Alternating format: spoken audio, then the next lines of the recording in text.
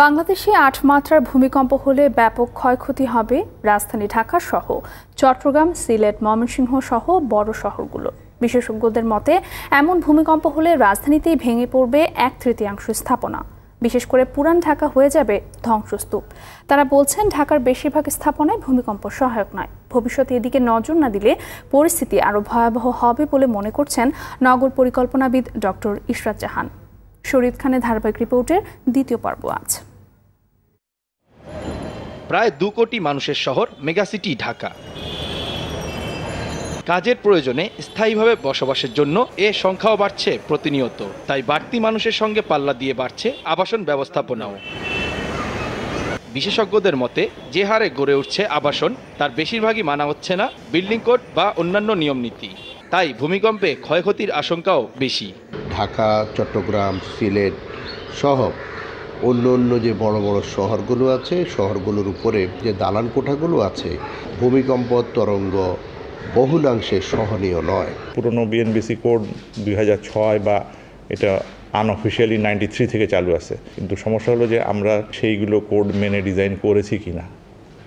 যদি কোড মেনে ডিজাইন না করে থাকি বা কনস্ট্রাকশন না করে থাকি কনস্ট্রাকশন ত্রুটি থাকে, তাহলে তো ভূমিকম্প সহনীয় হবে না। এটি চারশো বছরের পুরাতন একটি ভবন যার গায়ে হাত দিলে খসে পড়ছে দেয়ালের অংশ। আর এমন ভবন ঢাকা শহরে নেহায়ত কম নয়। আর শক্তিশালী একটি ভূমিকম্প হলে এদের অবস্থা কি হবে তা ভেবে দেখাই কঠিন। গোটা পুরান ঢাকাটাই ভূমিকম্পর একটা ভয়ঙ্করজনক অবস্থা। আমাদের খুব রিস্ক কোন কোন ইয়া ভাঙ্গা পড়ে দুই হাজার নয় সালের এক গবেষণায় দেখা গেছে, সাত দশমিক পাঁচ মাত্রার ভূমিকম্প হলেই ঢাকা শহরের অন্তত বাহাত্তর হাজার বাড়িঘর ক্ষতিগ্রস্ত হবে, যা কিনা মেরামতের অযোগ্য হয়ে পড়বে। আর সারা দেশে সে সংখ্যা গিয়ে দাঁড়াবে প্রায় তিন লাখ। যদি সাত তীব্রতার একটি ভূমিকম্প অনুভূত হয় ঢাকা শহরে, তাৎক্ষণিকভাবে প্রায় অষ্টআশি শতাংশ অবকাঠামো ভেঙে পড়বে এবং এক লক্ষ পঁয়ত্রিশ শতাংশ অবকাঠামো যেগুলো সম্পূর্ণ ভাঙবে না যেগুলো বিল্ডিং কিন্তু এগুলো ব্যবহারের উপযোগী থাকবে না।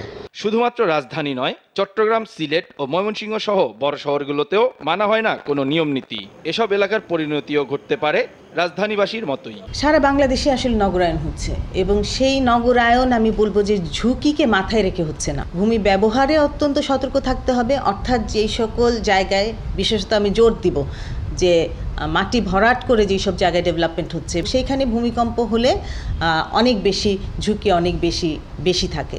দু হাজার পনেরো সালে সাত দশমিক নয় মাত্রার এক ভূমিকম্প লণ্ডভণ্ড করে দিয়েছিল নেপালকে। আর এখন থেকেই পরিকল্পনা না নেওয়া হলে বাংলাদেশের পরিণতি হবে, এর থেকেও ভয়াবহ।